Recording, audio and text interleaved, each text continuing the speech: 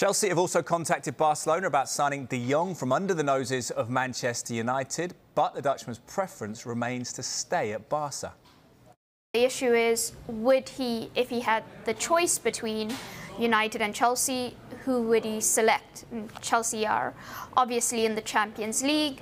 United have the Ten Hag factor. But underpinning all of this is the player's first preference is to stay at Barcelona. And for financial reasons, they are pushing him out.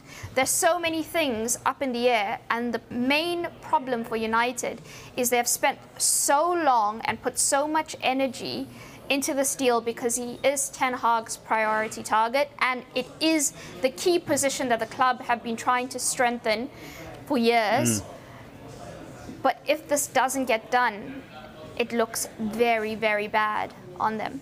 Chelsea have got a couple of players that Barcelona are interested in, in Cesar Azpilicueta and Marcos Alonso.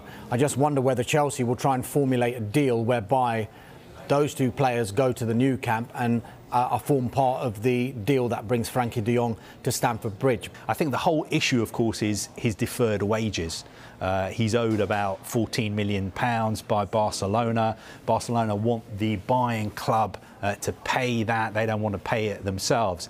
So I think it is going to come down to the money. If Chelsea are willing to pay uh, those deferred wages, and I think there's a good chance that he could end up uh, at Chelsea this summer.